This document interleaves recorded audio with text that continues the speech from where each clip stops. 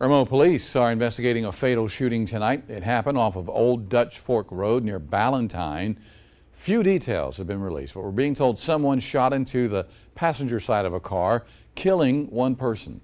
Multiple people were in the vehicle. The incident was contained to just that car. If you believe you have any information that can help law enforcement with the investigation, call Crime Stoppers at 1 Crime SC.